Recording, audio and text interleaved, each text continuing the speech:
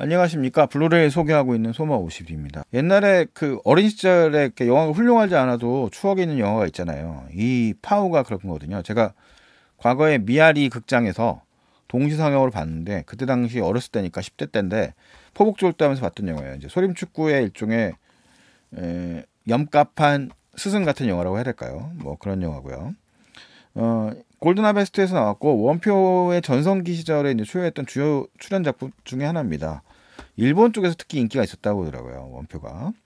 그래서 출연 배우는 원표 장국강 그다음에 이제 악역으로 적이 프로젝트 A의 악역 했던 배우죠. 저기는 뭐 성년 영화에 많이 악역으로 나왔고요. 이세봉 그다음에 고웅 등이 출연한 영화입니다.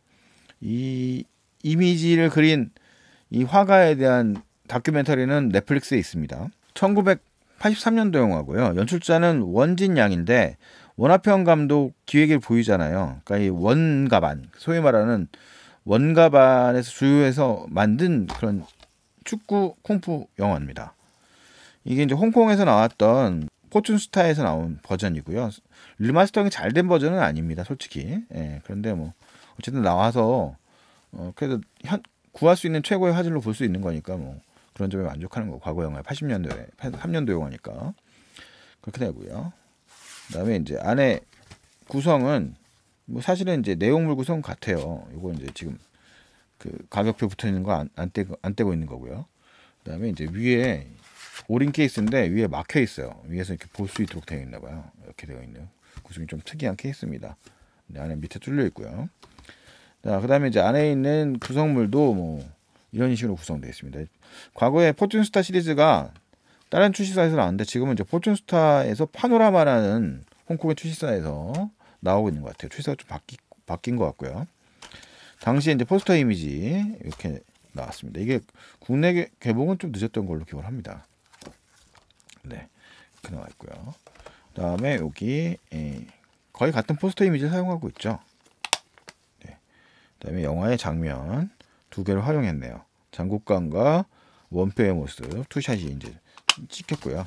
뭐 이런 식의 구성입니다. 뒤에 이제 영화 장면들 좀 보이시죠?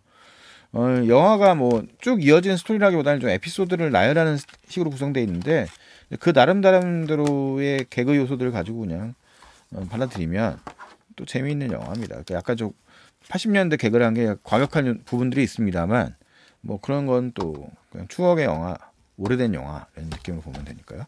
파우 블루레이 이제 홍콩판입니다. 한번 봤고요. 뭐 홍콩판이니까 국내 플레이 재생은 문제가 없고 어 이제 다만 자막이 지원이 안 되니까 한국 어 한글 자막이 지원이 되지 않으니까 그런 점 감안을 해야 되겠죠. 내용 한번 봐보겠습니다. 네, 여러분 지금 저의 guilty pleasure 같은 영화 파우를 파우의 홍콩판 블루레이를 보고 있습니다. 파우는 중국어로 축구 매니아들 이런 사람들을 파우라고 한다고 합니다.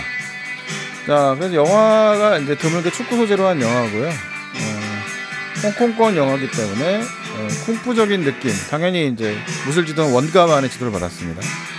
자, 본편 재생 chapter setup 트레일러 뭐 별다른 부가 영상은 없고요. 어, 그냥 그렇게 단출한 구성입니다. 자, setup은 광동어 5.1 채널, 보통어 돌비 디지털 스테레오가 지원이 되고 있습니다. 중국어 자막이 간체 번체가 지원이 되고요. 영문 버전이 자막이 지원이 됩니다. chapter를 보시면 큰 thumbnail이 떠 있네요. 밑에 숫자가 떠 있고 12개의 장면 선택이 되어 있습니다. 자, 뭐 예고편 예고편이니까요. 자, 본편 재생해 보죠. 자, 포춘스타의 그 로고가 나오고 있고요.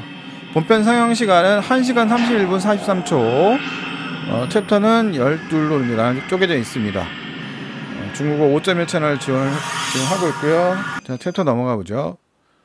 네, 초반부에는 이제 가난한 어떤 중국의 광동 지방 이쪽에 살고 있는 청년이죠. 착한데 뭐 오리치고 있는 청년이에요. 그 다음에 이제 하, 아저씨죠. 삼촌으로 고웅이 출연하고 있습니다.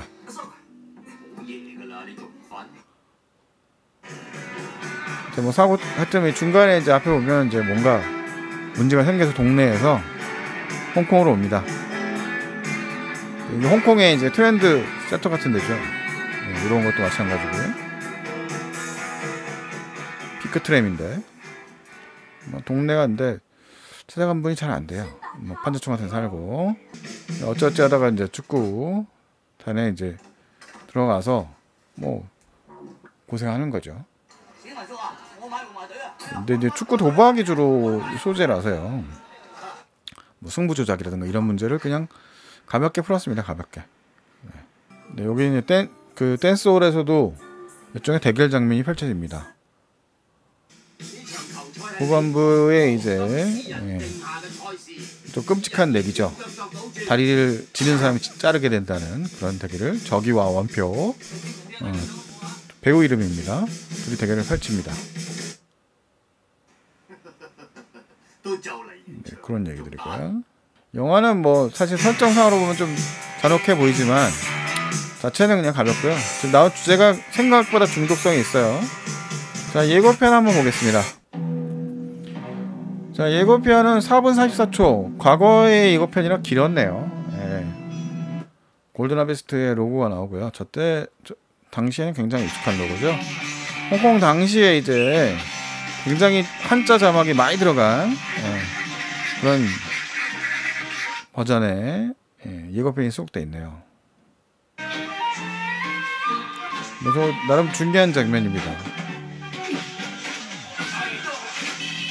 파우의 홍콩판 블루레이 살펴봤습니다. 저는 소마시네마 소마51이었습니다.